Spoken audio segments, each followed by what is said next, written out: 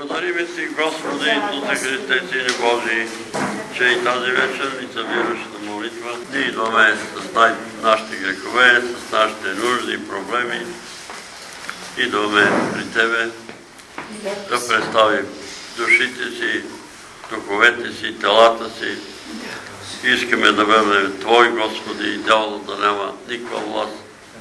Не желаем да имаме нищо общо с Него и Неговите пълчища. Искаме да бъдем с Теб и с Твоите свети. Искаме да бъдем с, да бъдем с Теб и в Твоята църква, в Твоето тяло. Господи, приемини тази вечер и помилвай ни. Погледни на нас, недостойни, грешни, слаби човеци и изпълни ни със силата си тази вечер. Души святи, животворящи души, оживотвори ни. Амин. Изпълни ни с присъствието си, мини от Тебето на главите ни. До петите ни, Господи, цари всяка болест, всяка немощ, всичко това, което има нужда от промяна в нас, да бъде променено от Твоята воля. Молиме Те за нашите роднини, близки, приятели, пъти с тях, където и да са. Тези, които са поискали да се молиме за сестра Петка и това момче, което е тръгнало във вярата и за тази жена, болна от рак, Добрич. Моля те да отвориш път за нейното изцерение, за пълното и покаяние. Молиме те и за други болни, които са ни поканили да се молиме за тях. Ние се молиме за всички, които ти ги познаваш, наши брати и сестри, близки и далечни, и уния, които са в чужбина, пази ги, помагай им. Молиме те за всички Твои люди и те молиме сега и за нашите поплът роднини. Амин. Ти знаеш, че от нас не приемат. Трудно приемат от нас, от роднините, но Ти прати и други Твои чада да им говорят. Амин. Обърни ги, Господи, да се покаят. Да, Господи.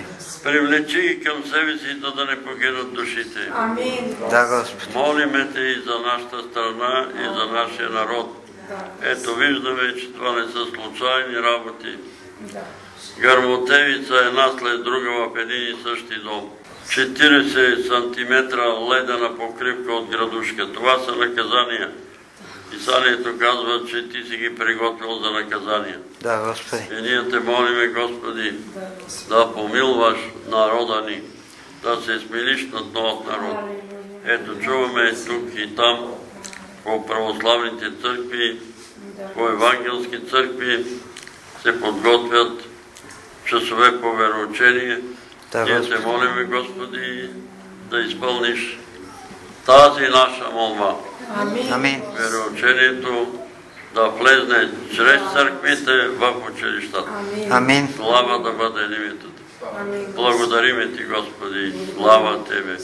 Бъди с нас тази вечер. Да. Ръководи ни, помагай ни, пази ни, насърчавай ни, изобличавай ни. Ние Ти благодариме за брат Сашо. Той беше много оплашен. Заболяване, диабет. Сега лекарите са му казали, че няма никакъв диабет. Слава да бъде името Ти. Да, Благодариме Ти. Молиме Те и за всички други наши брати и сестри, за които сме се молили.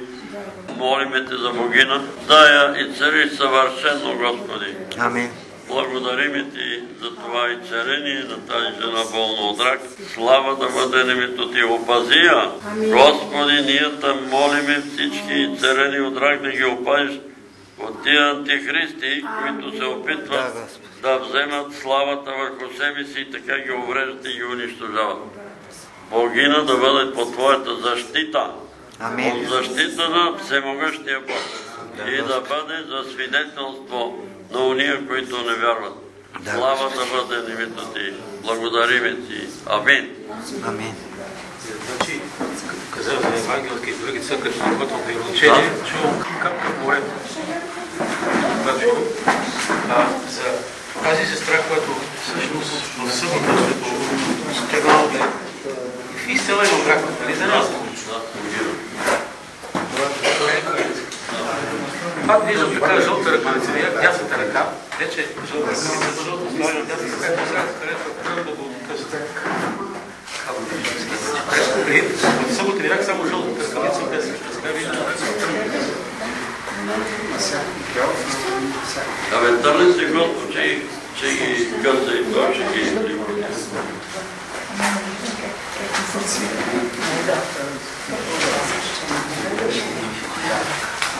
Той има мъже.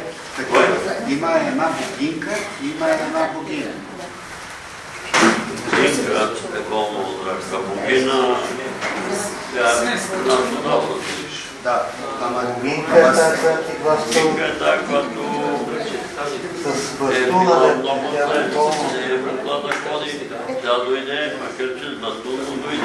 Слава Изследванията са много добри и върви към към, изцелени. Но ние знаем какво става с изцелените от рак. Веднага почват да лекарите да им препоръчат някаква силна химиотерапия, да, се, да си припишат на теково изцелението и ги ликвидират като мита. И церенът тумора го нема, слагат я на такъв тунел на ска- на скенер. да скене никаква клетка от рак. И оттам я слагат на химиотерапия и на химиотерапия тя умира. Е, това го прави. Или умишлено се прави, или са желание да а, те са и целили. Нали? И затова пред- предупреждаваме. Нали, някой казва, това е мирен договор, само не плашиш. И брат Христо иска да махнем тия предупреждения и да оставим само мирния договор, а ние сме ги дали там, да е. знаят хората. да. Човек, който е царен от рак и няма ракова клетка в тялото, никаква химиотерапия, никаква лъчетерапия. Но Христо Количев, снаха му, умираше. Отидах, тя напусна дома им, защото мъже я кара да ходи на лъчетерапия. Тя каза, ще умра. Нема да умреш, Бог те учи на търпение. Напусна дома си. Отидохме в дома й, баща и майки й. Така има страх от Бога, но нямат никаква просвета, нищо не знаят. Помолихме си за тази сила. Тя се възстанови, започна да се храни, стана. Докараха дъщеря от Холандия. Дъщеря и зети сина я накараха и я вкараха в болницата на отча терапия и тя умре там. Е, това е истина. Бог те учи на търпение. Какво ще учи на търпение? Да търпи човешките мъдрости и човешките Ама това и те и тримата са вярващи. Те са големи претенции. Единият доктор по богословие. Сина му е проповедник. Дъщеря му е вярващ. Ето какво направиха тази. И това не е единственият случай. Моя колега Митко Тотов оздравява, отиде, нема ракови клетки, напълня, беше кожа и кост. Кожа и кости не може да стане. И ние му каза, Димитър Бог ще ти цари, но никакви химиотерапии, никакви личотерапии, ако искаш да живееш. Сина му каза, е, вие много добре го насърчихте баща ми. И оздравя, оправи се, напълня. Почна да ходи. Отидахме в Купици в Гълмшин место. Те затваряха това. Иска да живее там на село. И така стои. И не се трока. И си няма.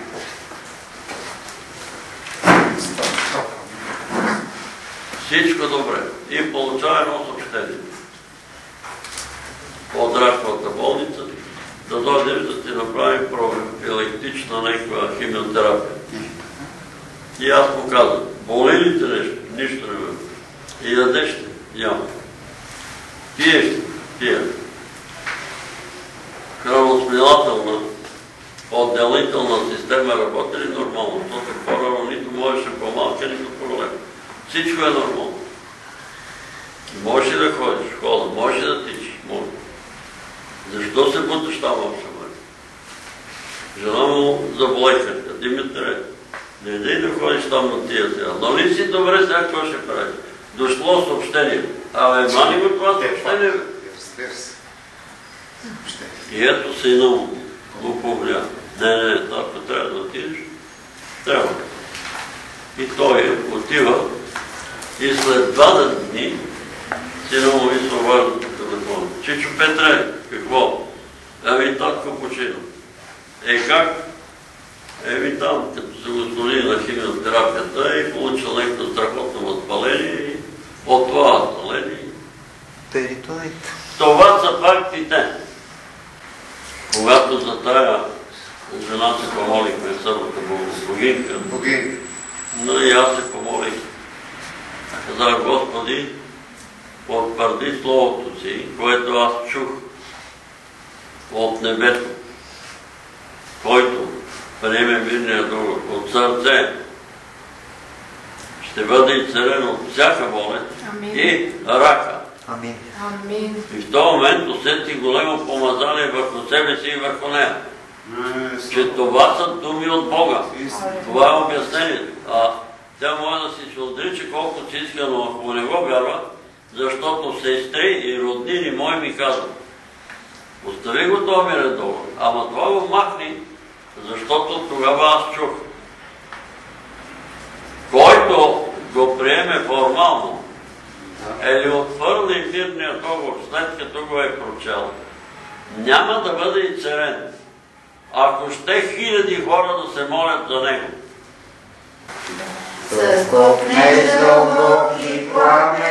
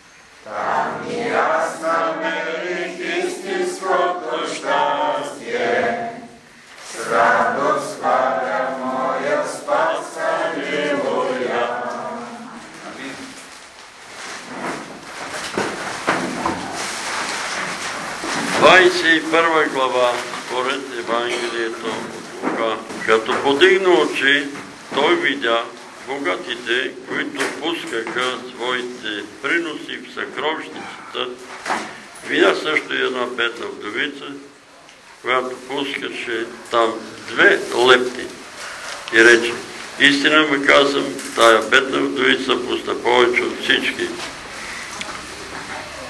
Защото всички тия от излишъка си пускаха приноси на Бога, а тя от немотията си пусна цялата си прехрана, що имаше. И когато някои говореха за храма, че е украсен с хубави камъни и приноси, той рече, ще дойда дни, когато от това, що виждате тук, няма да остане камък на камък, който да не бъде сринат. И го попитаха думайки учителю, кога ще бъде това и какъв ще е белегът, когато ще стане това. Той рече, пазете се да не да се не преластите, защото мнозина ще дойдат в Мое име, говорики, че съм аз и че времето наближи. Не ходете проче подири им. И като чуете за войни и бъркоти, да не се оплашите, понеже трябва това да стане първо, ала не веднага ще бъде краят. Тогава им рече, ще възстане народ против народ и царство против царство. На места ще има големи трусове и град. Глад. И глад, и мор. Ще има и страхоти, и голями полизби по небето. А преди всичко това ще турят ръце на вас и ще ви изгонят, като ви продават, предават в синагогите и в тъмници и ви водят пред царе и управници заради Моето име. А това ще бъде вам за свидетелство и тъй, турете си на сърце, да не обмисляте отрано, що да отговаряте. Понеже аз ще ви дам уста и премъдрост, за които не ще могат противоречи, нито противостоя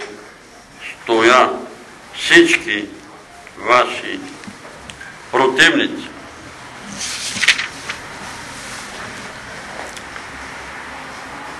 Ще бъдете предадени тъй също и от родители, и от братя, и от родини и приятели, и някои от вас ще умъртвят. И ще бъдете мразени от всички и заради Моето име. Но и косъм от главите ви няма да падне. С търпението си спасявайте душите си. А кога видите Иерусалим обсаден от войски, тогава знайте, че е наближило запустението. Затова уния, които се намират в Юдея, да бягат планините, а които са в града, да излязат от него, а които са в околностите, да не влизат в него. Защото тия дни са на отмъщение, за да се изпълни всичко писано. Горко на непразните и на кърмачките през ония дни, защото голяма неволя ще бъде на земята и гняв върху този народ.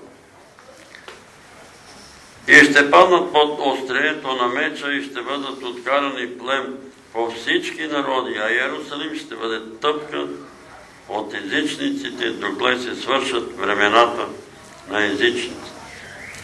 И ще бъдат по личби по слънцето и месечените, и по звездите, и по земята тъга у народите от недоумение и от морските, морския чум и вълнение.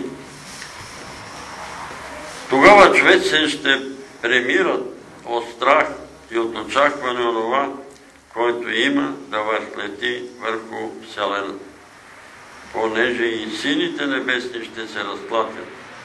и тогава ще видят Сина човечески да на облаци с сила и слава голяма. А когато почне това да се сбъдне, изправете се тогава и подигнете главите си, защото е приближило избавлението ви. И каза им притча, погледнете смоковницата и всички дървета. Кога вече покарат и вие виждате това, сами знаете, че е вече близо лято. Тъй, кога видите това да се сбъдва, знайте, че е близо Царството Божие. Истина ви казвам, няма да премине този род, докато всичко това не се сбъдне. Небе и земя ще премине, ала думите ми няма да преминат.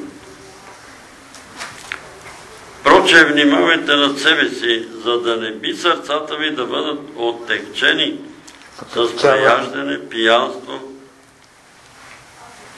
и житейски грижи и да не ви застигне оня ден внезапно. Защото той ще настъпи като примка върху всички живеещи от цялото земно лице. И тъй бъдете будни във всяко време и се молете, за да можете избягна всичко това, което има да стане и да се изправите пред Сина човечески. Денем той получаваше в храма, а нощите, като излизаше, прекарваше на планината, наречена Елеонска. И целият народ отраняваше при него в храма да го слуша. Амин. Може да седе. Слушали сте за двете лепти на довицата. Разбира се, Божието дело има нужда от средства, от пари. И днеска има нужда. И днес има нужда да се ремонтират църкви, манастири, винаги има призиви. Но ние трябва да разбираме това, което казва Господ, че обикновено хората дават за Божието дело от това, което им е излишно. А Бог оценява това, което ще даде от сърце. Защото Той казва на Израел, какво ще ми дадеш Израел? Всичко е мое и среброто, и златото, и кошутите в гората, и овците, и козите, всичко е него. Това, което иска от нас, действително Господ е да предадем душите си на него. Има една песен, която казва там, че ти какво си му дал, и тая песен казва, той не иска нищо друго, освен сърцето си да дам. Но той иска не само сърцето, иска и душата. Господ ми даде, допусна фактически до мене да застане Сатанаил. Бех се върнал от една служба, когато беше освободен Петромир. Петромир беше викал дявола да му се яви. Явно е чел книгата доктор Паус, и както той каза, ела, Сатана да се разберем. Е, Сатана пристига и го сковава ето тук врата, целият го сковава. Но преди това той му казва, ако си ме чул, утре отивам на изпит, ще науча само един урок и искам този урок да ми се падне на изпит. Отива на изпит, тегли белечето и му се пада точно това. Точно този урок. Преди малко ми се обади един младеж, ходил при некви мусулмани там и те му казали, че ще гори в ада. Че нали, Исус Христос не е син Божий, той е само пророк. Има, нали, те вярват, че Исус има такъв. Има Исус Христос, има Мариам, майка му и така нататък. А той само си помислил. Еми като ще е горела пада, така и така ще гора, поне тук на тази земя да имам коли, къща, пари и вика не можеш да си представиш как започнаха да се сипат кори, богатства, започнаха да идват. И аз вика не съм сключил договор с дявола. Си ема си поискал. Опасно е. Какво си казал? Така и така ще бъда в пада. Сега се отрича от думите. Искал да се кръсти, защото не е кръстен. Отишъл при свещеника, той му казал, трябва двама кръстници, мъж и жена. Викам, намери там селото, двама кръстници, толкова покани, нямаш и роднини, близки, некои. Еми нямам, никой не иска да ми стане кръстник. Хората се играят с огъня и нямаме представа. И тогава какво стана с Петромир? Помням си, че той беше дошъл в Първа да се молим за него, защото го измъчваше, беше много зле, пищеше, баща му казва нощно време, почва да пищи, ама пищи страшни и хората идват, какво става, бе, ми сина има, вика. Има криза. И той казва, режеме като с електрожен. Такива страшни болки. Иска Петромир да съгласи да му служи. И когато нали, аз застанах срещу него и казах в името на Исус, нали, сатана напусни. Напусни този човек, той замахна тега да ме удари и песника му мина по край, но съно не ме удари. Излез, той вика нещо става от мене, ще се повърна. Сестра Мария веднага донеси тук един леген, тя донесе един помна зелен леген, такъв пластмасов. И той започна не да повършта, а пяна да излиза от устата. Пяна, пяна, пяна, пяна. Напълни един леген с пяна. И тогава каза, свободен съм. Олекна ми. Гърдите ми имаше страхотен камък. Той камък го не. Олекна. Обаче хората не смеят да пипнат легена. Не викам и свали то леген там в туалетата, а трахме. А викам, това не е дявола, бе, това е от него е излезнал. Не, аз го вземах и свърли го там в легена. Радваме се. Той изкача от радост, освободен, развързан. И им казвам, моля ви се, не казвайте на никого, защото ще почнат да говорят там в първа евангелска гонят дявола да изгонят дявола от себе си. Така говореха за Исус Христос, че Той чрез вел и ще похулят Святия Дух. Моля ви се, на никого не казвайте. Там имаше един дякон от 50-та църква, Панталей го помни, Борето, помниш ли Борката? Да. Помниш? Той отишъл и казал на пастирите в 50-та църква и те после удавон. Там във първа евангелска гонат дявола да изгонат дяволите от себе си. И закъсаха. Закъсаха. Той е пастир, който изговори тази дума, после се изповяда пред Авон и казва, цяла нощ ме е мачкал един дявол. И какво става с мене, аз като се прибрах от това събрание? Полегнах си така леко на леглото в хола и изведнъж при телевизора се появи едно животно, като грозно, ама грозно, като жаба устата и тяло като набиво. И ме плаши. Нали, зъби ми се. И аз казвам, о, сатаниле, печат на съвършенство, над какво отвратително животно се правиш да ме плашиш. И чез веднага. Тогава, както си лежех до леглото, едно такова разстояние, на метър и половина, във въздуха се появи една червена петолочка. И от тази червена петолочка, о, израсна един много красив мъж. А рус, с сини очи, с бяло облекло, с нежно бяло облекло. Но на главата имаше, тия арабите имат такъв тюлпан, му отгоре, нали, но Сигурно за пустинята там си слага. Много красив. Но от него излизаше студ и започна да ме замразява. И тогава аз казах, Дух, моята душа и моето тяло принадлежат на Господ Исус Христос. Тък изчезна. Като чу името на Господ Исус, изчезна. Но може да се представи на светъл ангел. Апостол Павел го казва. На светъл ангел. Знаете, може би тази екстасенската от Варна, нали тя е поискала да му се ви, той една редица вика от мъже. От много красиви до много град. Кой образ искаш да ти се яви? Той е артист, той може да се преобрази както си иска. И защо ви казвам това?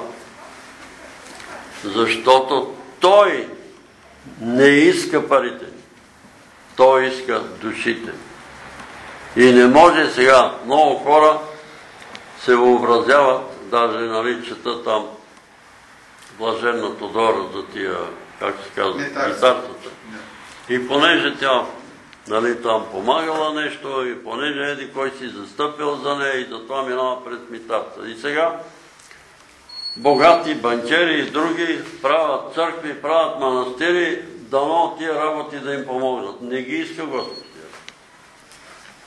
Господ иска да дадеш нещо от себе си, от това, дето да се откъсне от душата ти, от сърцето. Не това, което е.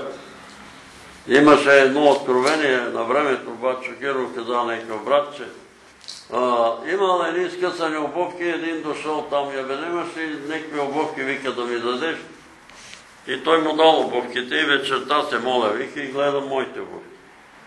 И като погледнах нагоре, Исус, обол съм Исус с скъсаните ми обувки.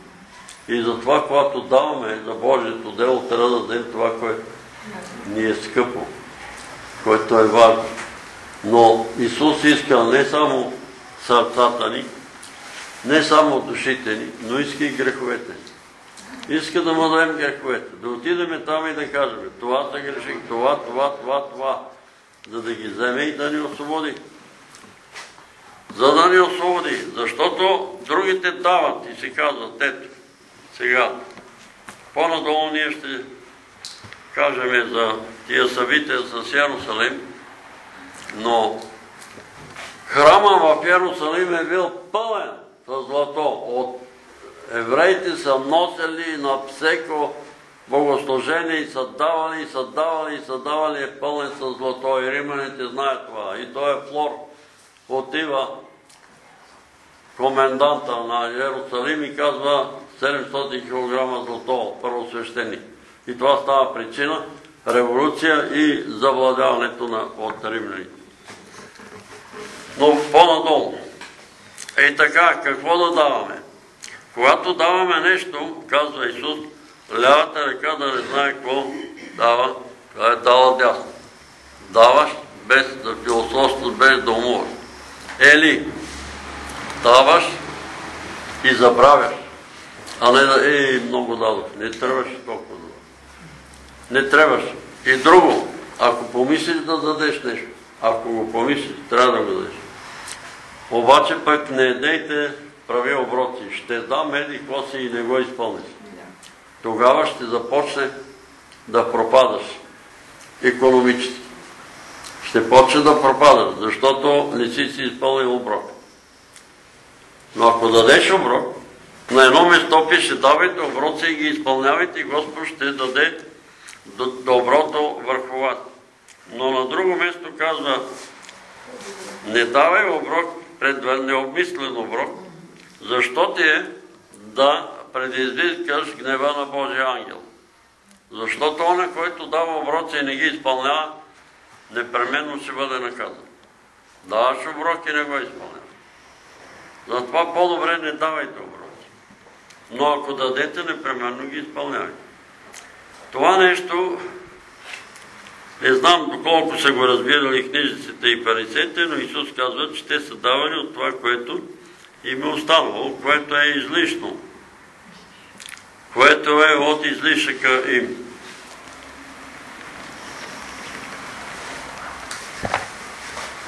И сега, вие знаете, че се води война за десятъците, непременно трябва да даваме десятъци и не знам дали сте чули некъде по евангелски или католически или православни църква, да сте чули тия думи да се четат.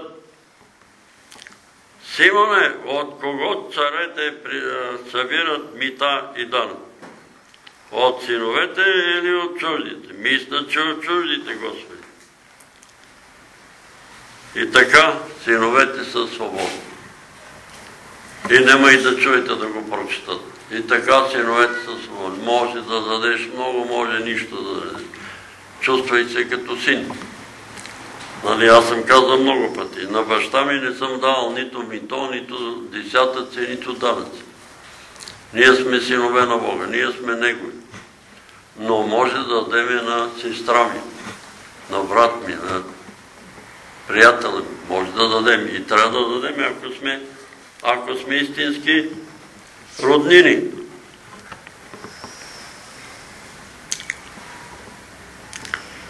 Когато му заговориха за храма, Исус каза, няма да остане камък на този на върху камък, всичко това ще се срине. И така попитаха го кога ще стане това и той каза, че преди това да стане, ще настанат тежки времена, народ против народ, царство против царство. Също така ще ни извеждат пред царе и управници заради неговото име. Някои ще пострадат, други някои ще бъдат убити, някои ще бъдат предадени. Предадени от кого? От братя, предадени от роднини, предадени дори от родители, предадени и от приятели. А някои от вас ще умъртвят. Преди да стане това събитие. И така е настанало страшно време.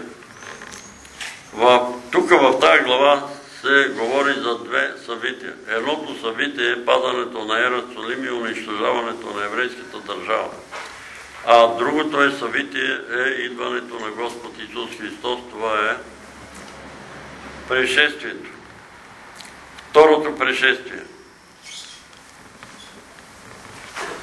Това нещо се е изпълнило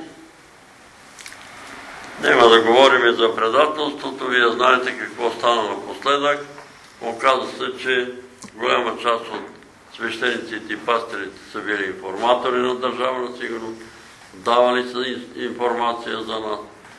Некои закъсаха, някои се покаяха, нали, Божия църква излезнаха там, брат Павел изкара, Том и тия всички пастири изкара ги, бяхме простетени народе, нали, Бог да ги благослови за това, че го направиха. Други си траят, все едно нищо не е било, но това се е изпълни. Това се изпълни и това е време да се опомним, да видим на кое време се. Щом това пред, тия предателства са дошли вече, значи, как се казваше този автор на конкорданца? Петър Банков. Стефан. Стефан Стефан Бан. Той пише в неговата книга. Отидах да си взема досието. И вътре, в досието, донос на моя тъс против мен и против моите дъщери. А дъщерите му са внучки. Да пишеш донос против внучите против внучките. И той се разплакал. Вика, започнах да плача, а полицай му казал, Абе, на плачеве, ми благодари на Бога, че си жив вече, не са те ликвидирали. Това му отговорил полицай. За внучетата си да пише донос. Еми, ето го изпълнява се. Роднини. Ще бъдеш предаден от роднини. Идва такъв дух предателски.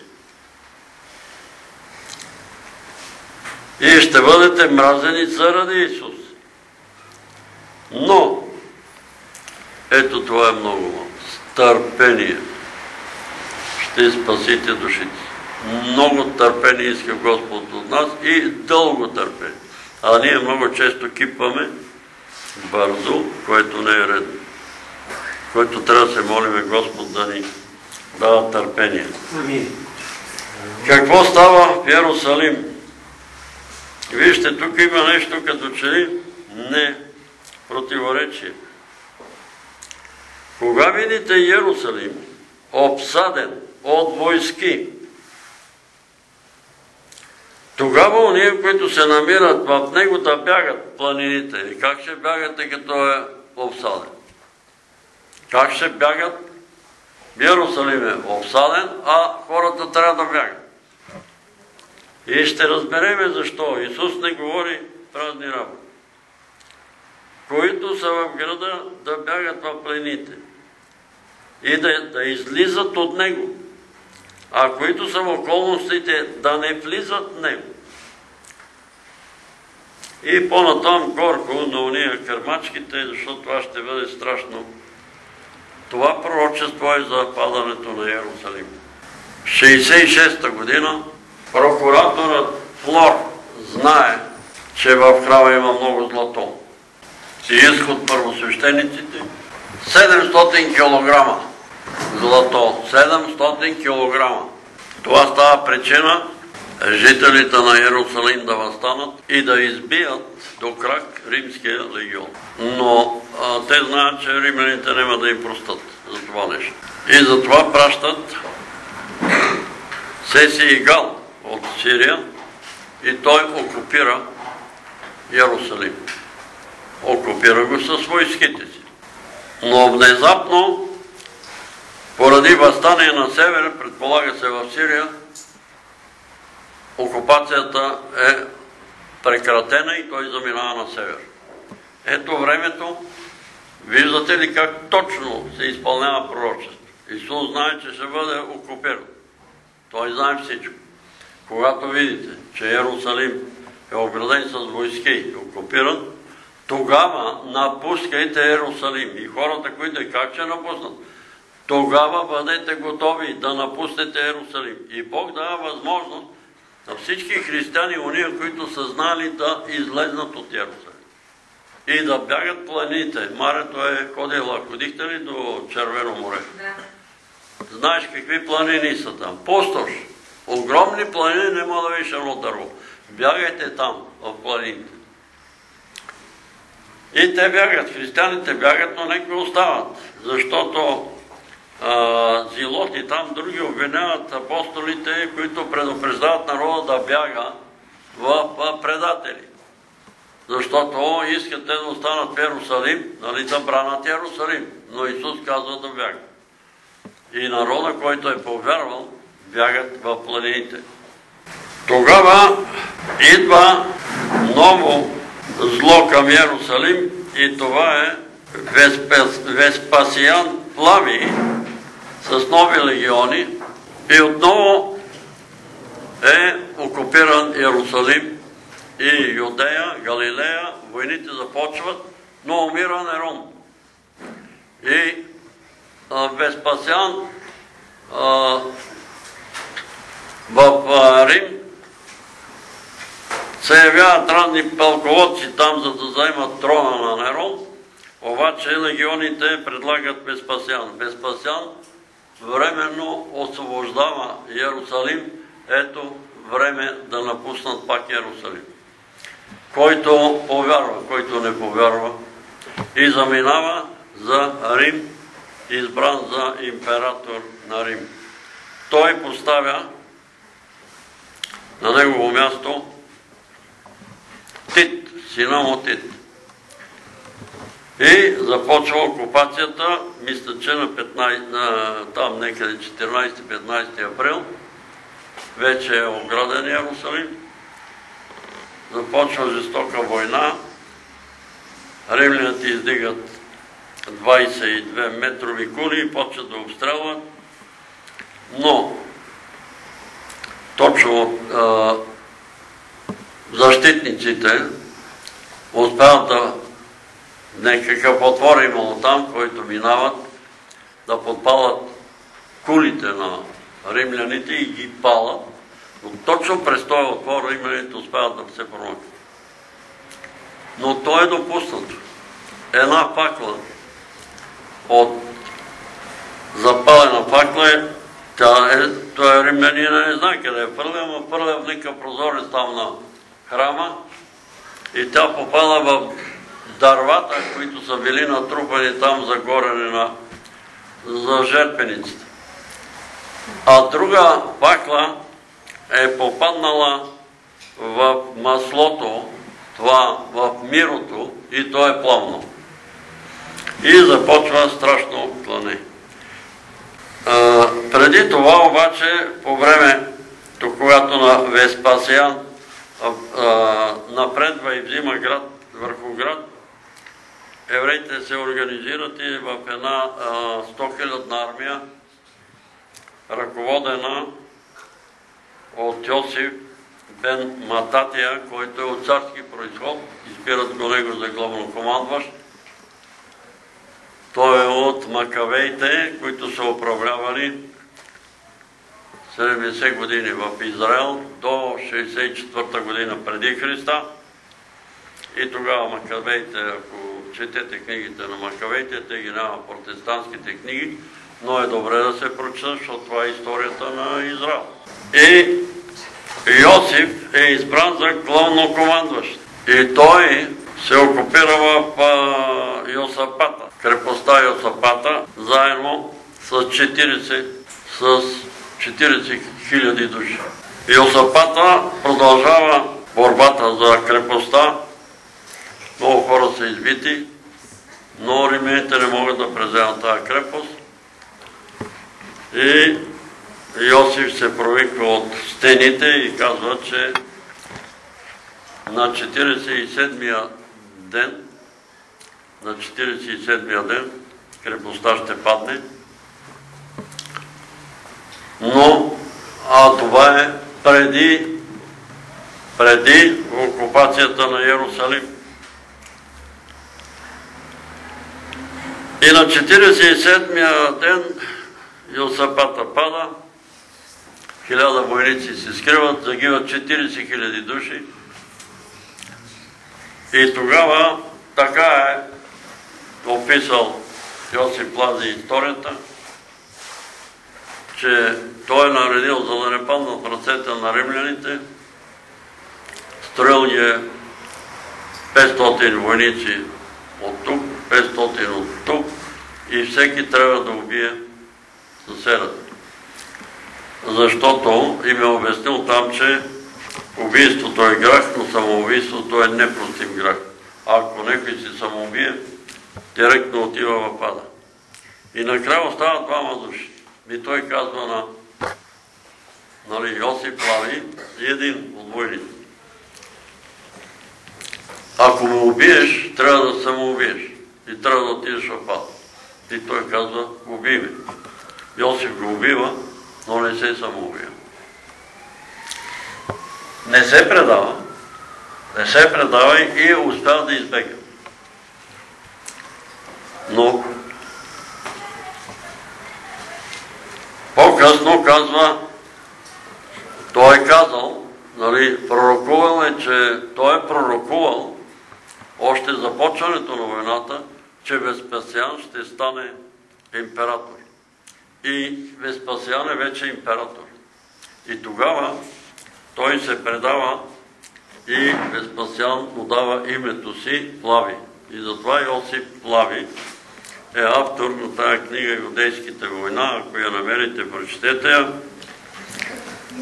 Какво става с Иерусалим? Ти те заповядал да се запази храма. Но ето, две неща става така, че храма пламва. И там, където е било мирото, не само мирото е пламнало, но е имало дървена нали, копка, която е пламнала. А римските войници са знаели историята за 700 кг злато, знаели са, че там има 700 кг злато. И когато този храм пламва, те започват да търсят златото. Той имало и такива златни и такива украшения. 20 години е украсяван той. 40 години, 42 майче е строен и 20 години украсяван. И така са започнали да търсят златото, разрушили са храма и са обръщали камък върху камък, за да се изпълнат думите на Исус. Камък върху камък няма да остане от този храм. Защото вие не познахте времето. Разрушени са и са съсипани всички градове в Юдея, Галилея и Самария. Има един град, Гадара, който са загинали към не знам колко хиляди беха, в който град е останал само един жив човек. А аз вярвам, нали не го, не го, не го пише, че това е гадариница, който Господ го и цери, за да остане като свидетел. Вие знаете гадаринци какво казаха на Исус. Иди се от тука, иди се от тука. И той се качи на кораба и си отиде. Ето това е, иди се от тука и пристига дявол. Така че тия два пророчества, некои казват, че се отнася за последно време, но не за последно. Той е за Иерусалим. За падането на Иерусалим. И така, Иерусалим пада и се предава на 10 август 70-та година. Интересно е това, че първия храм, Соломония храм, също е разрушен от Навуходоносор на 10 август. Има нещо в този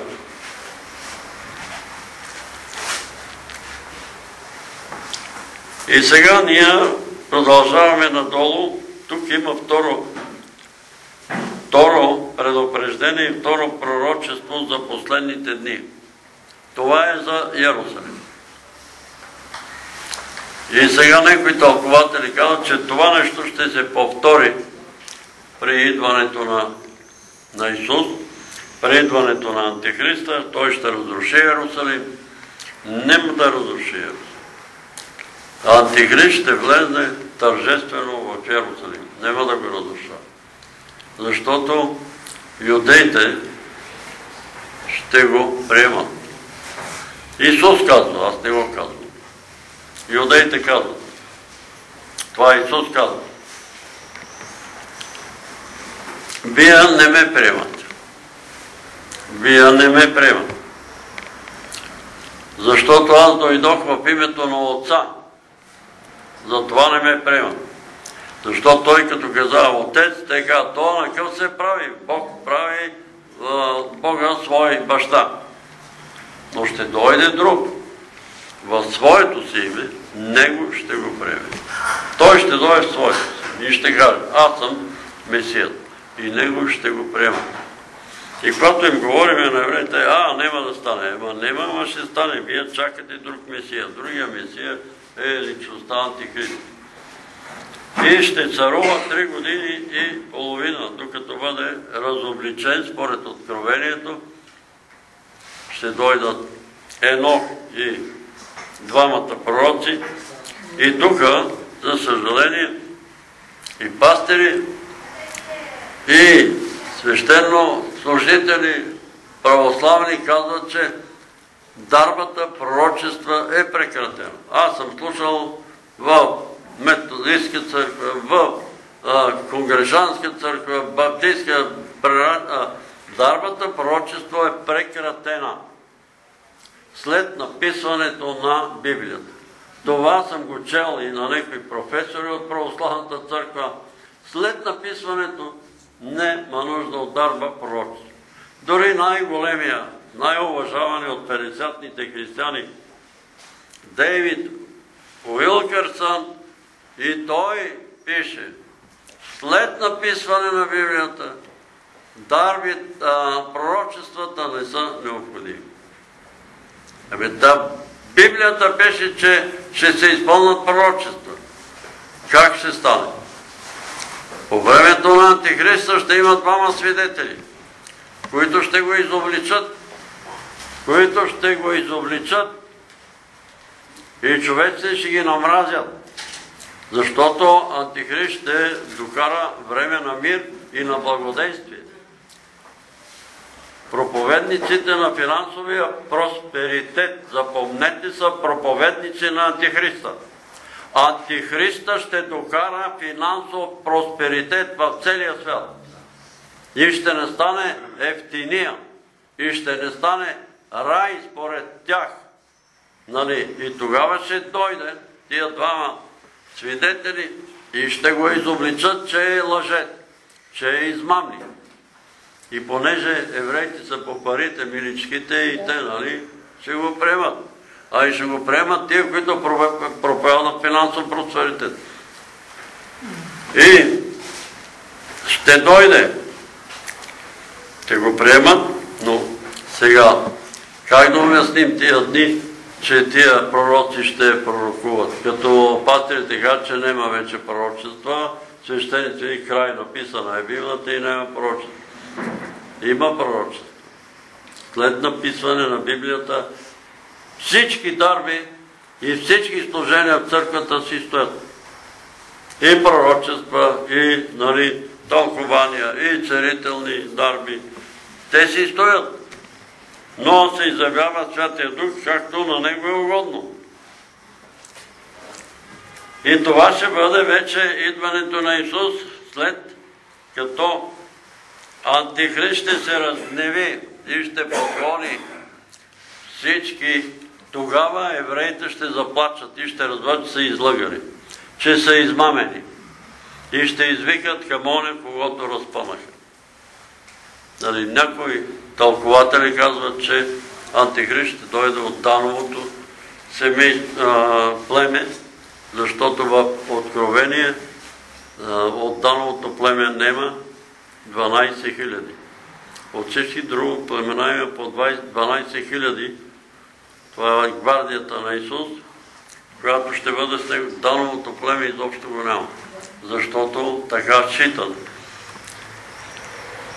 Тълкователите, светите, че ще бъде еврейн от Дановото. И затова не слушайте сега, говоря го така от воля да ме чуе.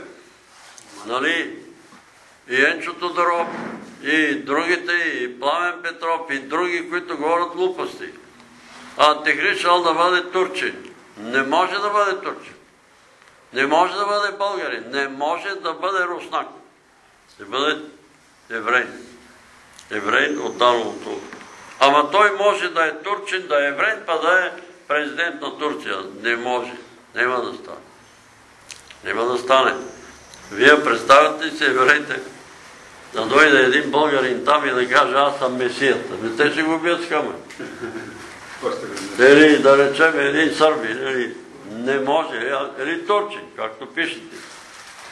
И по интернет говорят глупости. Ердоган вика личността антихриста. Бе, къв Ердоган бе? Кой ще го приеме Ердоган там в Израел?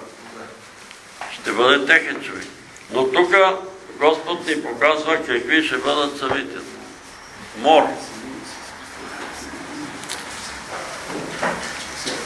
Силите небесни ще се разплатят. България малко разплатиха ли се? Всеки ден градушка. Какво е това? Какво е това? Аз мисля да го намеря, понеже ме търсиха много по телефоните днеска, мислех да го извада там от Библията, че Господ пази градушката за наказание. И всеки ден в България градушки. Сигурно чухте. В Хасково градушка. Некъде, къде беше 40 см натрупана градушка. Представате? Е, толкова е натрупано лето от градушката. Цялото поле в Старозагорско. Полето е унищожено, абсолютно невъзможно, никаква, никаква реколта, а и не може, те първа вика да садим, нищо не мога да получим. Защо? Наказание. Народа не иска да вярва. Народа не иска да се кае. Народа не иска. И тия белези ни подсказват какво има да стане. И когато и тримата евангелисти говорят нали, в 24 глава, Матея, 13 глава, Лука, че ще настанат такива личби, дори по слънцето, ще станат по луната, по месечета и звездите. По земята ще има недоумение у народите. Хората ще се объркат. Ще има страшен страх. Морските вълни ще, из... ще се издигат с огромни вълни и ще заливат. Знаеме какво става, може би сте виждали тия цунами. Една година са били унищожени 300 хиляди души от цунами. 69-та година още. И какво става? Като ги видиме тия неща, трябва да се изправим и да кажем Господи, ето ни и казва, молете се, да всичко това да го избегнете, което има да стане. Само чрез молитва може да го избегнем. Не с бягане, не с а, а, планове. Нали? И с консерви. Не? И с консерви в а, Не пещери. с консерви в... А... Къде беха тия? Пустинята. Пустинята. Пери стол, нали пак ще да идва пери стол в България. Вика, направили сме, вика, консерви, като дойде Антихриста, там ще се скрие. И Исус казва, небе и земя ще преминат, ала думите ми няма да преминат. И всичко това, което се е извършило за Ерусалим, ще стане и останало. И когато вече стане толкова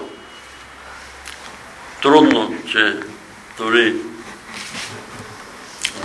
и избраните няма да могат да устояват, на които Бог е дал сила да устояват, тогава Бог ще съкрати дните. И затова, понеже ще ги съкрати, Бог знае колко ще ги съкрати и затова всички пророци, които сега стават и казват на тая дата Господ ще дае, но оная са лъжци и са лъже пророци. Всички, които се появят и казват тогава ще дойде, са лъже пророци. Нали, за съжаление, един евангелски пастир, 50-тен, преди 10 години ми каза брат Петър, аз знам, аз съм уверен, до година Исус идва. Викам, аз съм уверен, че до година Исус няма. Как е ми е така, има неща, които трябва да се изпълнят. Пророкуваха ли двамата пророци? Изобличеха ли? Не са, еми тогава как ще дойде? До мене може да дойде тая нощ, за тебе да. Ама второто пришествие, когато той казва, че всяко око ще го види, ще стане, когато се изпълнат дните, когато Господ каже, не може вече, Антихрист ще се разгневи, ще тръгне. Също всички уния, които изповядат, че са християни, ще тръгне срещу евреите, ще започне да избива, да мачи и да преследва и тогава какво ще стане? Ще падне огън от небето, Исус ще дойде и дъха на устата си ще го унищожи. Така пише апостол Павел в посланието към солунците. Никой по никакъв начин да не ви заблуждава, нали, че дошъл Антихриста, че утре ще дойде, защото това ще стане, когато дойде отстъплението. За съжаление, ние виждаме масово отстъпление. Отстъплението идва незабелязано, той идва с финансовия просперитет, той идва с танците, с пляскането, с, нали, театрални постановки в църквите, а всичко това е дело на плата, нали, ръкоплясканията, виканията, кълченията, това кое е дело на плътта. И така, това води към отстъпление.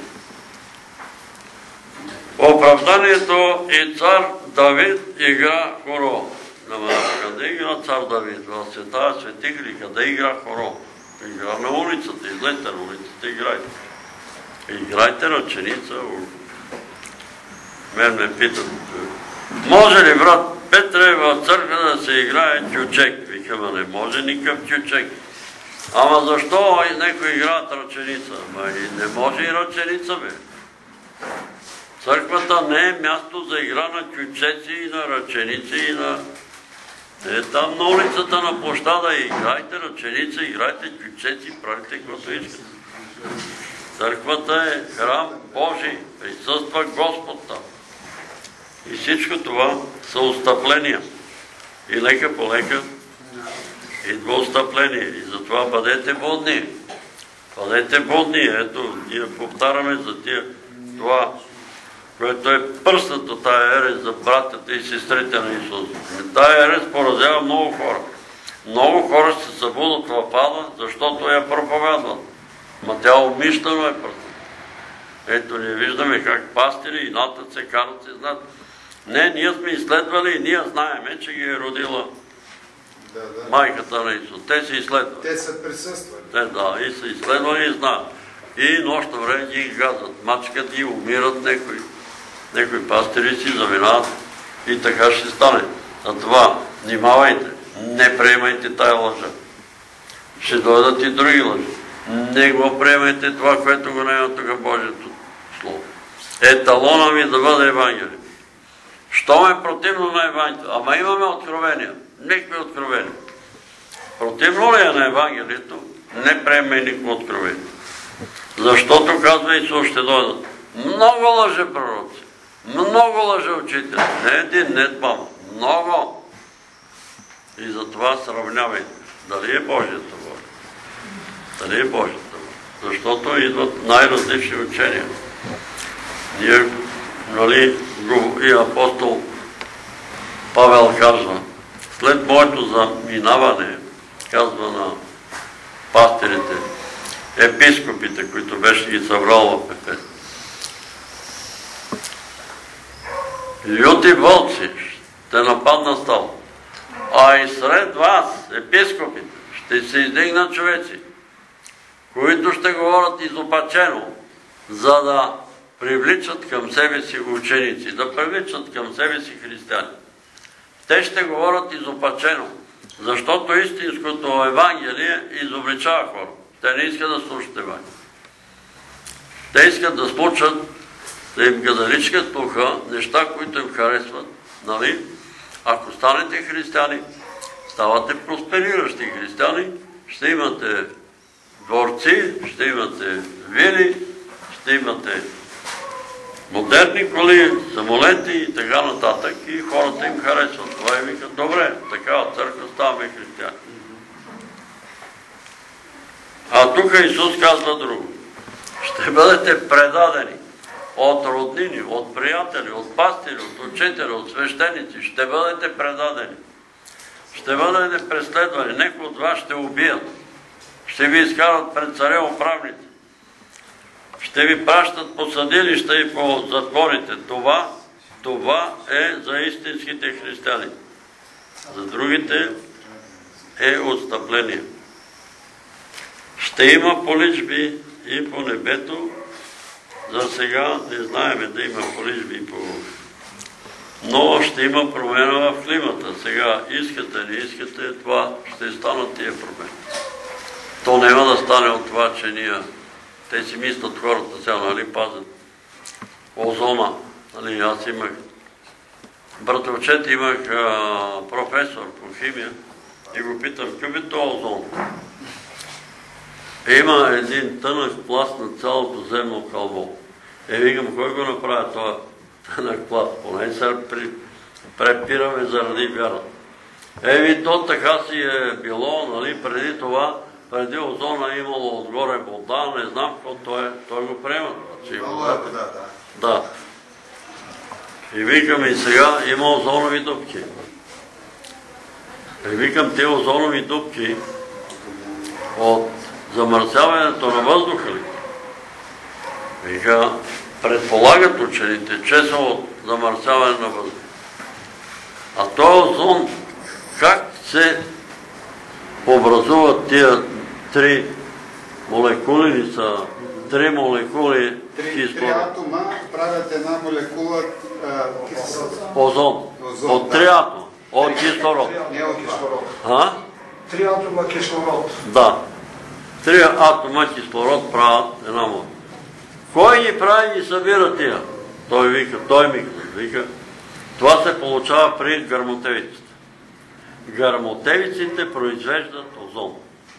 И сега вие виждате, че има гърмотевици в България, за да има озон над България. А ние викаме, ей, тия гърмотевици ще ни изтрепат. Но това, което е станало с тази къща, къде беше, два пъти пада гърмотевица върху една и съща къща. Това не може да е случайно. И запалва и изгаря къща. Пред миналата или преди няколко години беше, скоро беше, преди 2-3 години, пада гръм и убива един човек на полето. Гръм го убива. На следващата година, на същото място, пада гръм и убива брат. Е, вие мислите ли, че това е случайно? Не е случайно. Не е случайно. Господ казва на тия хора да се замислят. Явно родителите или дедите на тия братя са проливали кръв, за да могат да се замислят да се покаят. Как ги оцели точно те? Как сега две гърмотевици, една и след това, след малко, още една върху същата къща. И слава Богу, че сега няма жертви. Това са белезите, земетресения по целия свят. Некои са записвали земетресенията нали, през миналия век на 10 или на 20 години едно катастрофално земетресение. А и те го разбират катастрофално от 6-7 степен. А онзи ден е станало земетресение от 8 степен. Не знам къде беше, некъде в 8 степен катастрофен.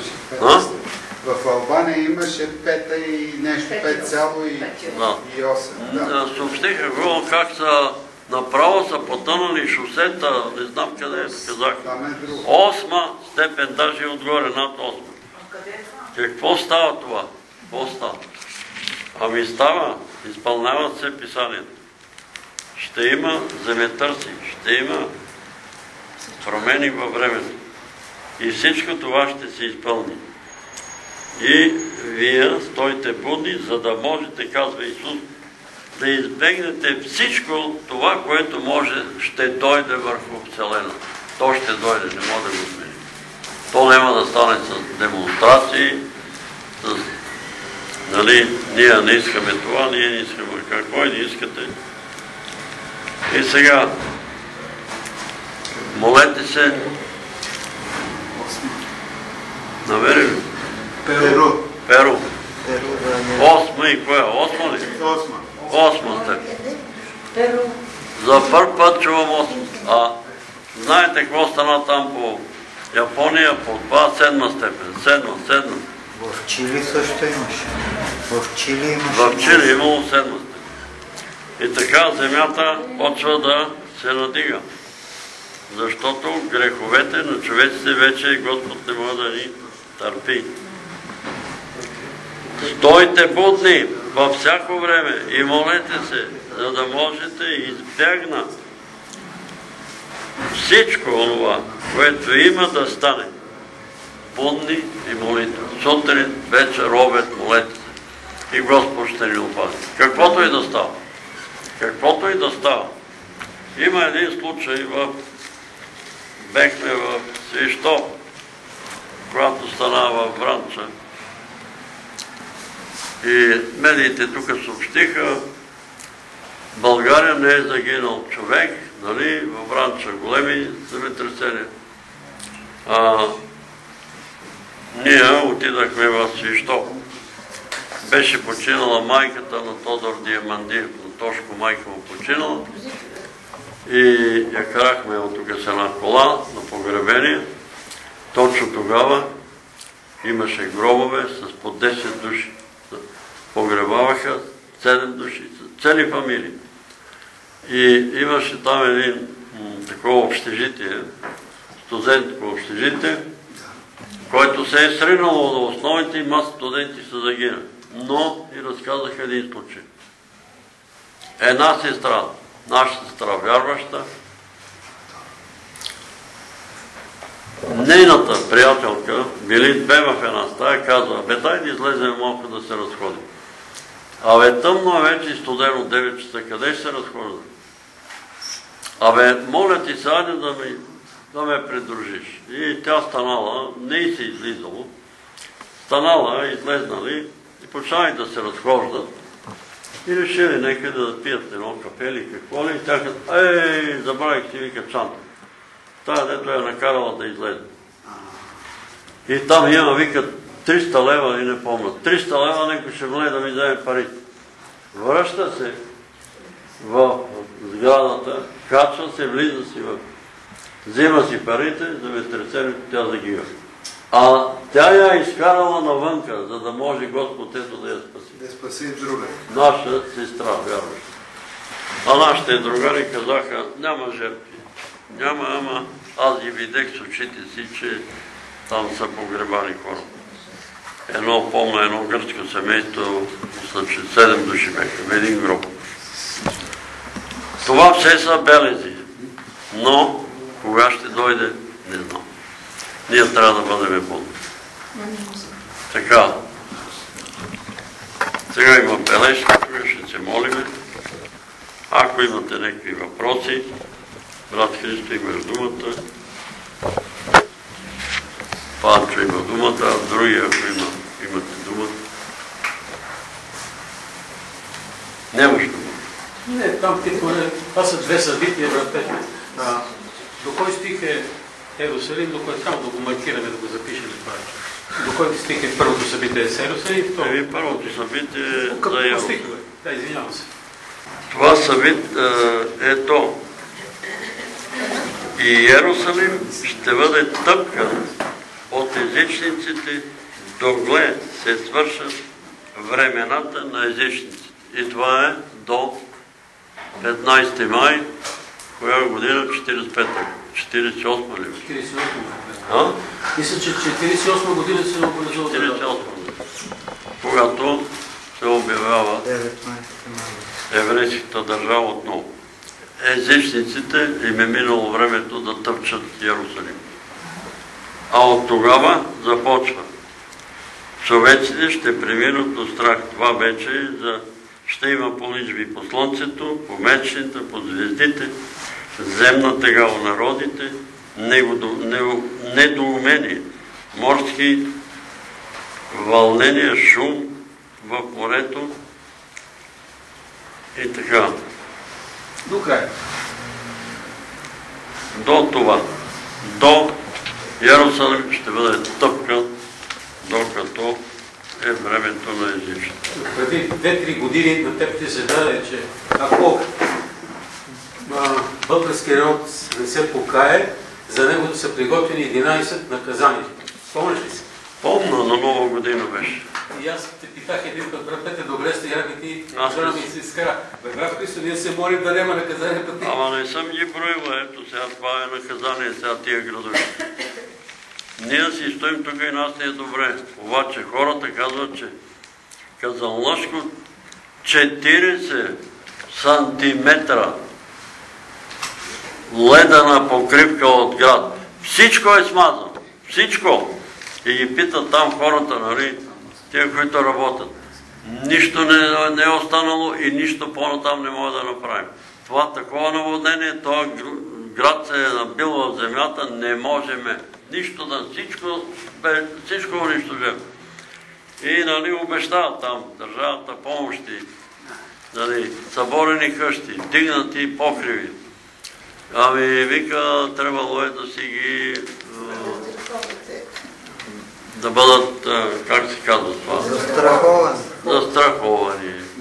А тая къща, която е унищожена от грамотевицата, човека, собственик казва, а тая къща беше застрахована и преди малко, преди няколко дни изтече застраховка. Преди няколко дни. А случайно ли? е? Но пак не е случайно. Ма народа не иска да се кае. Не иска, вика. Изпълняват се страховките, защото е масово. Така че няма смисъл.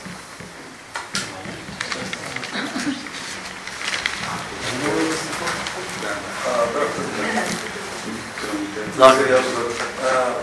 Идва ми на ум по време на по времето, когато ще се явят двамата свидетели, по, по, не, по времето на Антихриста, ще се явят двамата свидетели и те ще бъдат мразени от всички човеци нали, по земята, всички, с изключение нали, на, на които са, ще приемат свидетелството им.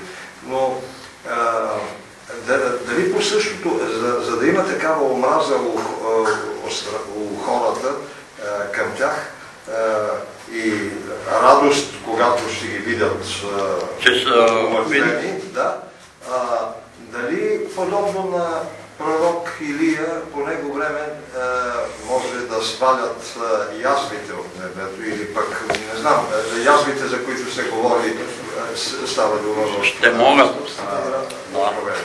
А, Да. Това е писано. Ще им даде власт. Да слават и аз, ще наказват. Ага, да, да. Нали, те могат да кажат, нали, когато... Подобно на пророк Илия, А, когато, са, когато те пророкуват. а то всъщност единият майче ще бъде точно той. Абе, и двамата са ясни. Ана Илия и, и Енох. Така, не са записани имената им. Но нали, те казаха на Исус, кога ще дойде Илия. Но той дойде, Йоанн Кръстител, в духа на Илия. Нали? Не е дошъл, не се е вселил на Илия, Не е душата на Илия. Сега Главчев казва, че му се е явил от Свети Илия в Добрич, нали? И му е казал, напиши писмо на Петър Велев и му кажи, че ако не ти прати пари, ще бъде проклет. Е, а. А пък а, четех некъв светец, там, неква книга, ма не помня от кой беше от тия, дали не беше от а, а, Свети Василий или от който. Ако дойде пророк и ви говори за пари, изгонете го. Той не е пророк. Щом почне да говори за пари, падете го. Така че а, пророк Илия и те няма да говорят за пари, но ще имат тая власт. Ще имат власт, когато се надигне, да кажем, град София и казва, ние приемаме 100% антихриста, кланяме се, ще кажа едно земетресение да разплати малко град София, да се събудат и да видят къде са тръгнали. Ще има тая, ще затварят небето, ще жари хората. Слънцето ще жари, ще има за такава си той сега жари. И сега е доста силничко. Не е такова, каквото е било едно време. Какво става, не знаем. Има специалистите, астрономите виждат, че има неща и по Слънцето, и по, Вселената стават събития, които те не могат да обяснат. И философстват сега. Ами то ние имаме сигурно успоредна такава Вселена. Тя ни влияе, не знам кой ни влияе. Не ни влияе успорената Вселена. Нека чуят всички тия професори. Влияе ни греха, бе, Господа. Абе, греха ни влияе никаква успорена Вселена. От успорената Вселена идвали тук извънземни и ни влияли на нас. Чудат се какви лъжи да измислят. И това са учени. Нужди, брат Дахил, за съпруга, освен това, болътко колената и стави на брат Дахил. Сестра Петка, Това са стари работи. От Добрич с пълно освобождение и защита. Сестра Розалия, пълно изцеление и победа в дома и И над отцата това. е- Тази сестра отцата е А това е също. за. Да. Да се молиме аз бех при сестра Роди- Розалия, тя на проходилка. Бог да благослови сестра Мара, че се грижи за това момиче. И ето тя е излезнала затворена като затворничка, вика излезна, извела я навънка 5 часа. Кристина иска да бъде навънка, иска да ходи навънка. Не може да бъде затворена вътре. И колко е важно сега ние, големите християни, се биеме в гърдите, това правим, това правим. Е на това дете, некой да го изведе навънка, да се разходи, да го заведе до зоологическата градина. Е такива да им се помогне. Другите две, които са Анелия и не, Анелия ми Емилия и Кристина. И те са затворени. Малко се подобри едната. Но па я хвана там некъв дух от телевизията за прераждането. Чула е, че Ванга е, майка е била фаронка и преродила се майка в българка и така нали, е родила Ванка. Е такива глупости. Но е добре такива хора да се посещават, да им се помага. Бог да я благослови, сестра Мара, да й даде сили и здраве за това, което тя върши. А ние ще се молим и за тях, ще се молим и за брати и сестри да представим пред Бога молбата на учителя Тончо. Бог да му помогне да приключи успешно учебната година и още. Да не се да не се приложи най-тежкото наказание изключване от училище, а според правилника преместване в друг клас, а друго, друго училище на него ученик, сестра Верка. Амин. Значи закъсал е Тончо нещо. Абе не може, не знам, Господ да бъде с него. Има съпротива. Това са бележките. Ако има някой от вас да предложи да се молиме, ако няма, за Владимир. За мен за здраве, за брат, да му помогне Господ да разбере, че хазарта няма да, няма да го направи щастливо. Господ да бъде с тебе, Владимир, и целият ти дом. Кажи, брат. За тъст ми преди два часа му е станало лошо и е като припаднал да се помолим. Как се казва? Явор и е кръстен. И е кръстен. Припаднал е. Еми, нещо му причерняло, приклекнал, не е паднал, нали? Бърза помощ са викнали, Ме, но добре. не се, нищо не излиза. За баба Танаска, за баба Таня, Баба Таня, за сина и на баба Танаска.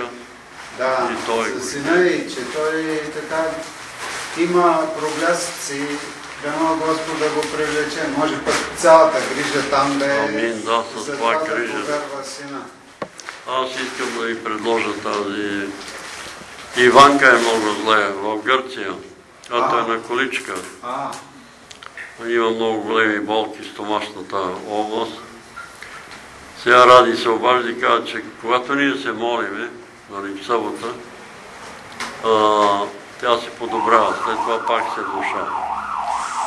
И затова да се молиме за тая души, че измъчена душа е. Вика, няма с кой да общуваме там. Хората, българите, вика, са неверващи, почват, дойдат, почват да говорят вицове, смеят се, крекат се и си мислят, че са отишли на посещение да помогнат. Ама какво да ги прави? Така е, така е. Нема да ни разбират хората. И роднините не ни разбират. Но пак Господ иска при такива хора и за такива хора да се молиме, защото, кажи, За мен е, че ми е много бъркано и притеснено и имам страхове. какво объркане? И имам страхове и нямам мир. Гласове. страхове. Еми, страховете идват, нали? Говорихме за страховете, че идват от греха. Адаме, где си? Тук съм, но ме е страх. Защо го е страх, Адам? Защото наруши Божията заповед. Страха идва и още нещо. Съвършенната любов, какво прави? изпъжда всеки страх. От теб се иска съвършена любов към Бога, независимо колко си грешен, защото дявол е тигавен. Абе, към Бог? Исус, как ще те обича тебе? Ти си грешница. Точно тех Господ обича, грешниците. Обича ги грешници. И тая любов трябва да дойде, като четеш Божието Слово, да се заредиш с любов към Бога и тогава страха ще изчезне. Но ние ще молим за освобождение, защото страха може да дойде от окултни практики. Да не би да баеш нещо, да нямаш някакъв навик. Може да дойде от сърбиме, лявата ръка ще получавам пари. И го вярвам. Играе ми дясното око. Ще се ядосвам. Не, той баща ми такива неща ми казва. Моля, Той баща ми такива неща ми ме, ме учи да вярвам, аз не ги вярвам. ти не ги вярваш. Сърбиме носа. Той за хляба нещо вика да не бил на опит. Ами, щом ти се случва, значи си ги вярвала некога. А? Вярваше ли ги ме притеснява. Ами ето, отрича се. Отрича се и те ще бягат. Защото Господ използва сетивата, ама и дявола ги използва. Кажи друго, какво е. Ами, една рана дет се възпали, като и сложи шампуан и сега ме много притеснява, защото се е надула. Какво? Рана. А? Една раничка и сложих шампуан и се надува и да се, да се оправи и да не става проблем. Ами добре, Господ знае всичко, за Лора ще молиме за пълно изцерение и освобождение. Там е на Нервни ръка. на- Имам много нервни навици. Значи имам нервни навици и да се да освобода от тях. Всички такива навици да се освободи Господ, ама и ти се прави усилия. Прави усилия. За Теодор днеска го водих на доктор, възпалени са му сливиците и ушите. Седи. Това е заедно, да. А? Това е свързано е. Сливиците с каналите, Да, да. Носа. А, кажи се. Аз искам да помоля за единия ми син за големия за освобождение и изцеление. Освобождение от Еми, Алкохол. депресия, алкохол, такива. алкохол. Не толкова алкохол. Абе, трябваше ли с вас да ходим при Да. човек? Ама аз не можех да дойда в понеделник Да. и не можахме да се Еми разберем. остава да се оговори на това. Ами ще се оговорим да. И покаяние, да дойде до покаяние. Четохме това мирния договор до някъде. Как се казваше? Стефан. Стефан. А и другия малкия Юлиан, той да, да дойде до покаяние и до познаване на Бога. Защото той е далеч. Юлиан колко годишен 31. е? Той Голям. да го води Господ към покаяние. Стефан и Юлиан. Кирил. За, да, за Кирил и за работата ми. Почва Абе, вече да гледам, това е Да. цъфнало. Да, другата седмица. Обаче изглежда е било градушка там при нас, че е долу по земята е само цвет. Света е паднал, да. Цвета е И може и от буря, без градуш. О, от Силен вятър и дъжд, пак всичко Пак, се... Добре. Аз съм да попитам заглавието на книгата, която ни препоръчате да я намерим. Книгата, която ни говорихте, казвахте, намерете си е, да взечем стеля. Заглавието на книгата. Аме тая книга на Илия Миланов. Четвъртия да, мъж. Да, аз мисля за историята за Йосиф Флавин, мисля, която... А, историята е Юдейската война. От, а, да. Юдейската война от Йосиф Флави. Дечица, дето се молихме за тях и как се успокоиха и заспаха, като се връщахме обратно. Слава на. Или. А за, за Красимир също ако може да се помоли. Красимира, за алкохола. До покаяние, да, за- Добре. и да отиде на църква. И Борислав. Борислав. Борислав, алкохола ли беше? А, що алкохол? Аз може ли да прославя Бога? Може, ставай. Аз искам да прославя Бога за това, когато се пред цялата църква тук, за операцията на окото ми Господ се погрижи за всички нужди, финансови, добър лекар, добър екип. Слава на Бога, защото наистина Господ присъстваше. А, Бог се поставя хора навсякъде. Една наша сестра от Подунската църква беше асистентка на хирурга.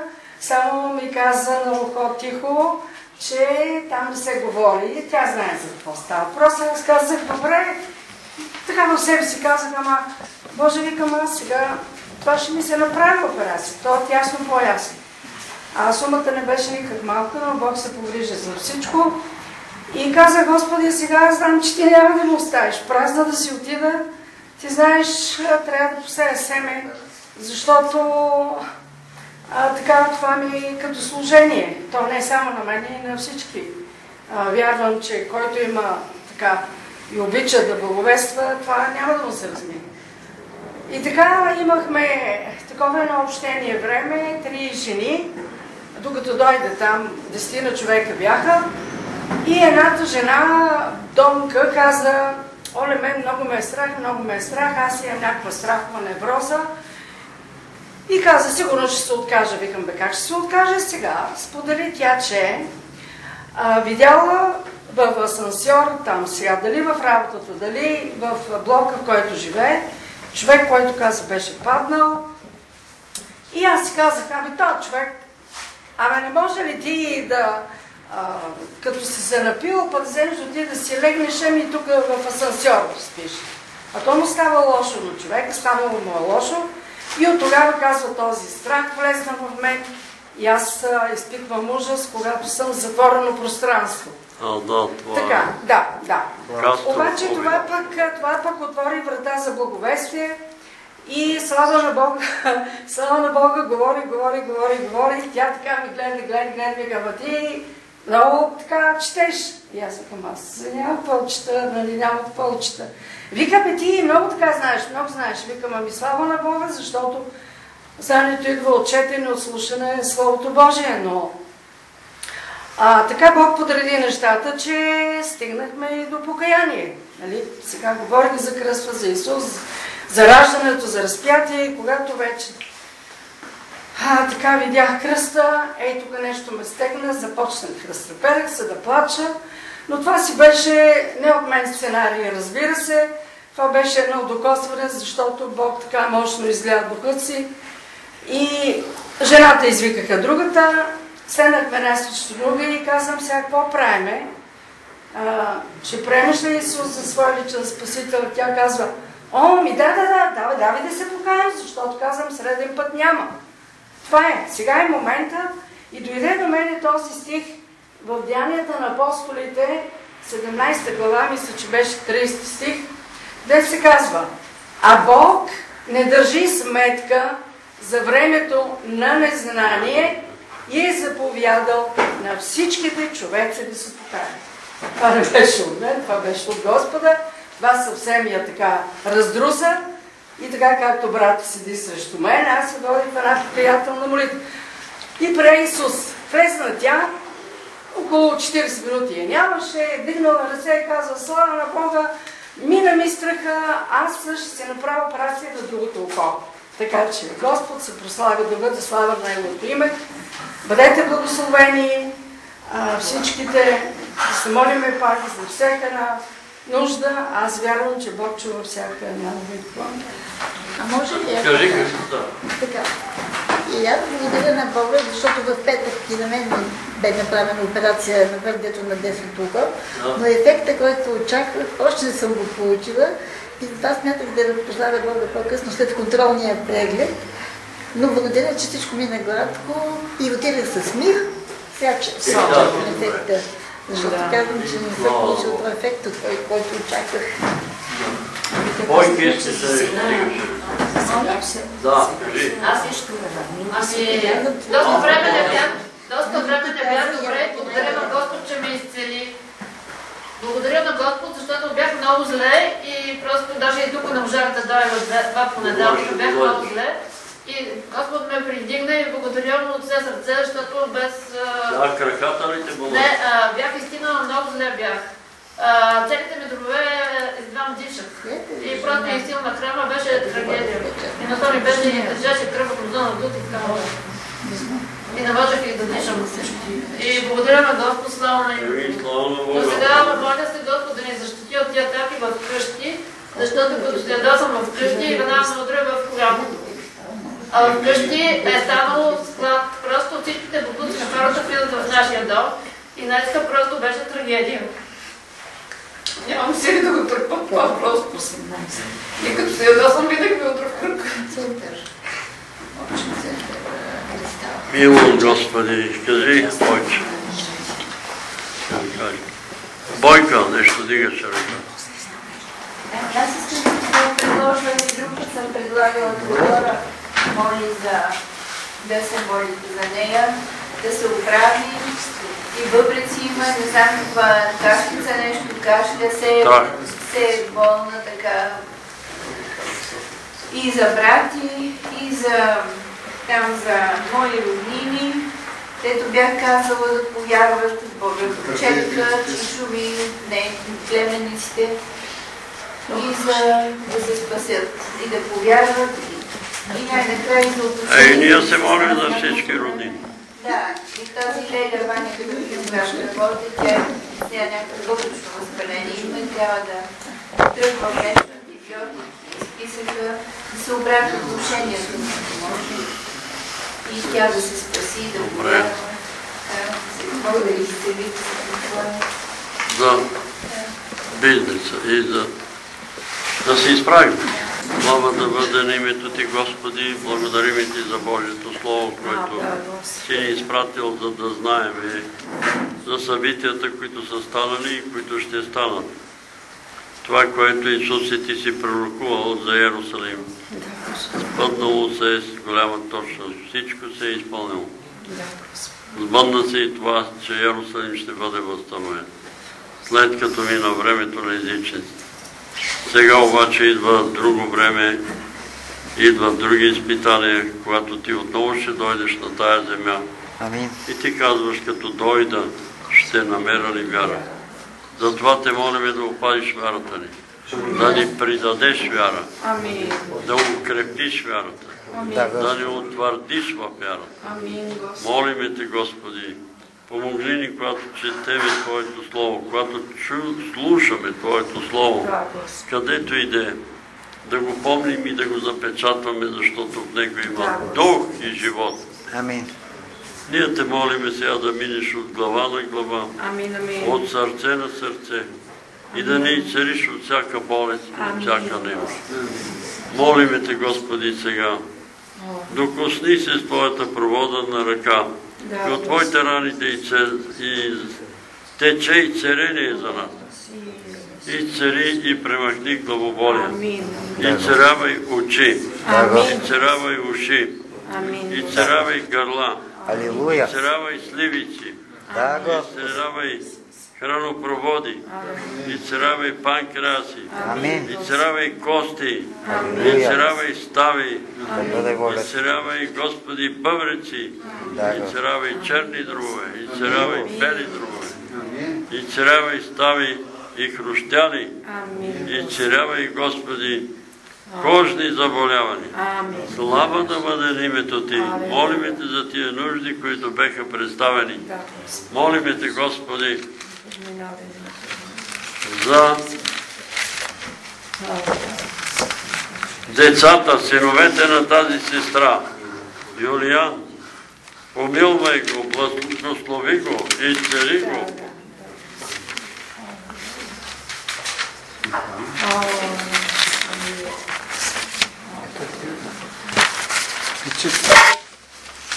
А, дечицата, аз не ги. Господи, молиме Те за тия дечица, Таня и Тео. Да. Ние Ти благодарим, че в събота те са заспали, почувствали са по-добре, но ние Те молиме за съвършено изцеление на тези деца. Амин. Амин. Господи, смили се за тия дечица и помилвай ги. Исусе, сине Давидов, мили се за Тончо, има опасност да го уволнат. Не знаеме защо, Може би той се афишира там, разкрива се, хвърля бисерито на свинете и се чуди защо го гонат. Иска да ги промени, да ги направи християни. Ние те молиме да му дадеш мъдрост, така да общува с директори, началници и да го преместят в друго училище, без да го уволняват.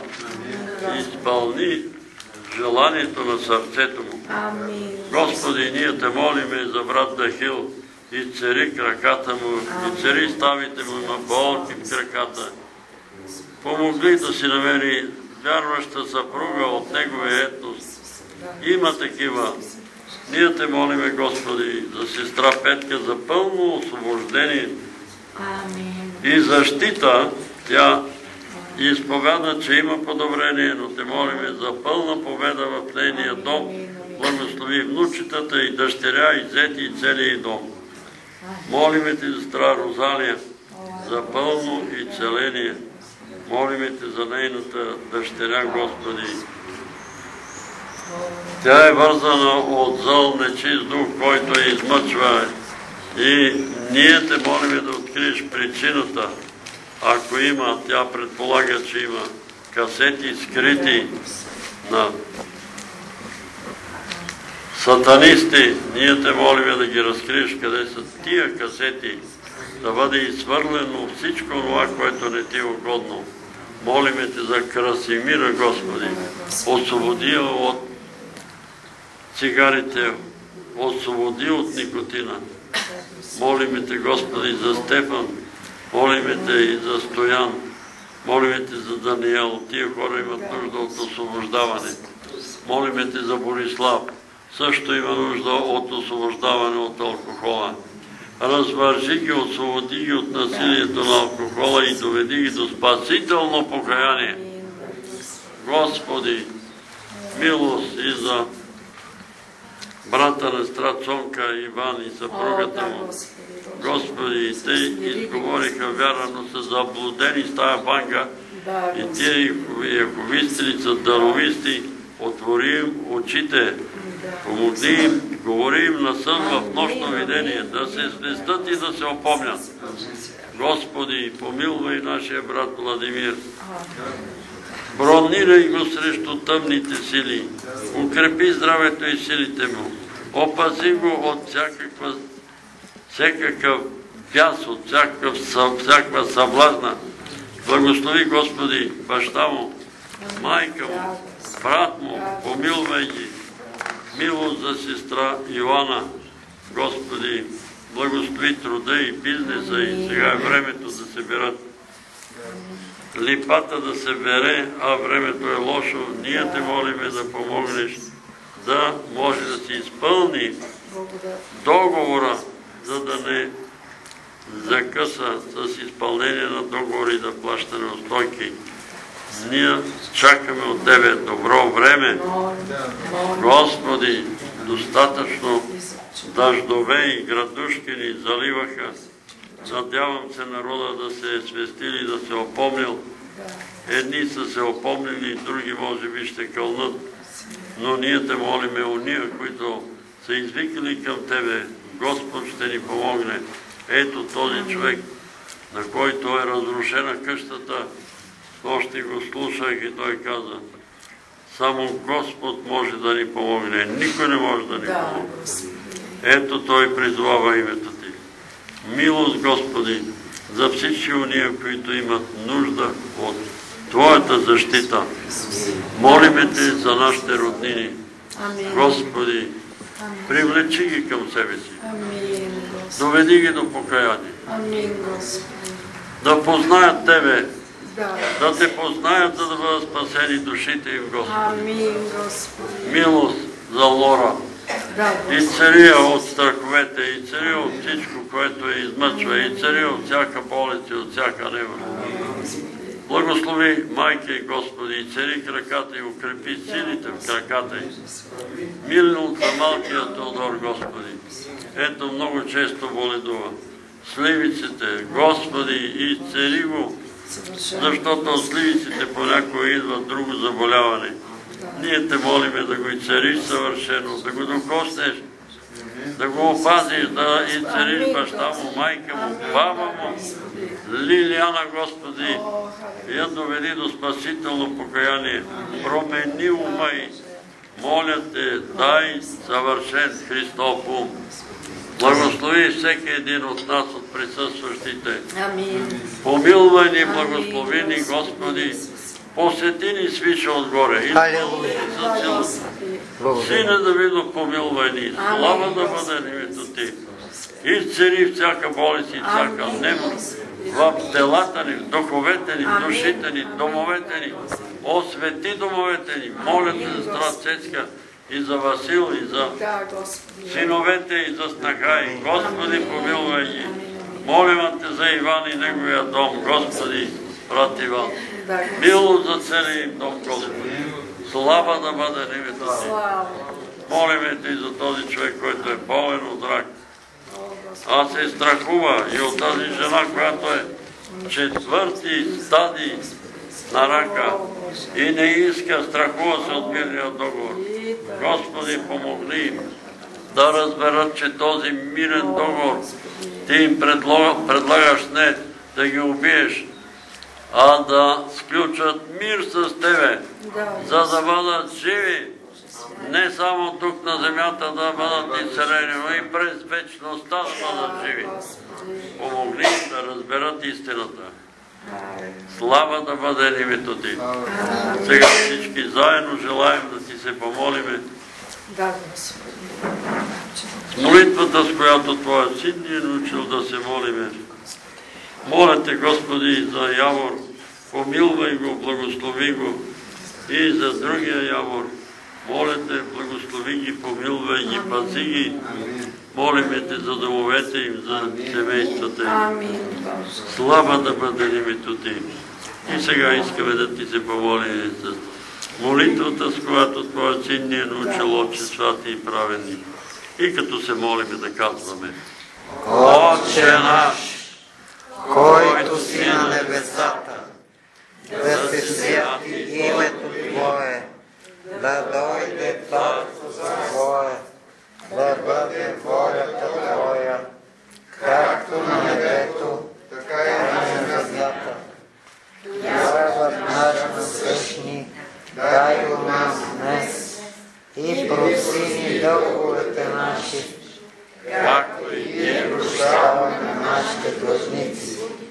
И ни доведе в изкушение, но избави нас от.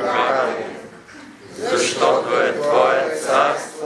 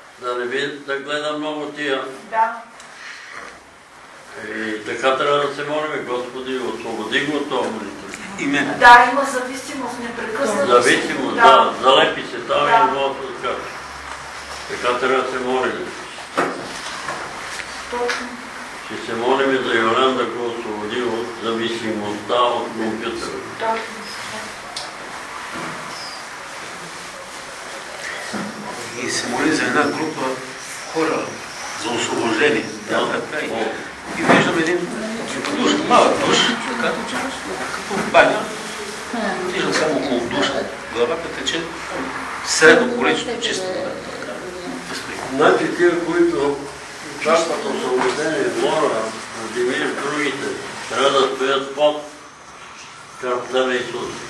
Трябва да си изповядат греховете, да се молят Господи и прости, да бъдат учители. Амин. Самите те трябва да поискат. Некои се присмеят, че подиграват на пенисатните, че призоват много често кръвта на Исус, но няма друго средство. Кръвта на Исус ни отлича от всеки грех. Това е. Не може, каквото има хора, които казват, определят. Дали ще поста 20 дни и Господ ще ме учи. Мога да пости и 200 дни. Без кръвта на Исус става. Без жертвата на кръста. И затова апостол Павел предупреждава и приканва кръста, при кръста Христос. И може да си носиш кръст това няма проблем, но питам един младеж там, много хубав кръст имаш, да. Вярваш ли, че Исус е разпърната кръст? О, не, защо го носи? Ами вика сега е модерно. Разбирате? Трябва да го вярваме, че на този кръст Исус е страдал, мъчен, бит. И това е пътя. И кръвта на Исус. Кръвта на Исус. И така ще се молим за Юлиан, Господ да го развърже от този тая превързаност. Едни са към телевизор, други към а, компютър, други към цигари. Всичко това привързване е от Лука. Става втора природа. Не може. Друг към ядене, друг към пиене. Добре, за Лора. Значи виждам една с- светло-сива мишка. Мишка? Да, мишка. Мишка, ма не е за компютъра, жива мишка. Нещо от тая мишка търси от тебе. Тя иска нещо, тя е сиренце, дето вика. Тя не може да дойде мишката, ако няма нищо там от тебе, тя търси при други. Мишките са и нощни животни. През нощта, през деня спът. Те са някъде, през нощта. Да си почисти къщата. не знам, не мога да кажа. Таня, е за Таня и Тео. Значи виждам пода на були на ливада, нали? И Там е на шахматни квадрати. Такъв шахматен под виждам. Като шахматна дъска. Да играят чак, още са малки. Е, не. За Дахил. Виждам един воин с много лъскав шлем, такъв като на пожарникарите шлемовете. Огледален. Отдалече се вижда. Наденала е шлема на спасението, го моложи ръката и стави. За Красимира. Виждам един пла- плътноход дървен в едно бурно море, но няма платна, няма нищо. Клатушка се буря, страшна буря. Много силна буря и се клатушка. Не е потънала, това Това е е някаква, това е някаква църква. Някаква църква, която не е Христовата църква. И не знам, ако ходи там на някаква такава църква и се радява на някой велик пастир и учител, може да, може да се удави направо. Да влезне в кораба. Кораба е Христовата църква.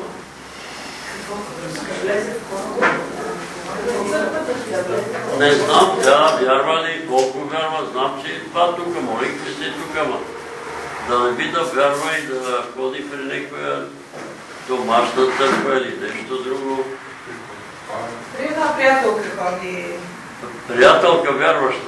Не. Не вярваш. С окултизъм се занимава. Ами да, ще не защо да Също се отказва от нея, но не съм сигурна дали се отказва на това.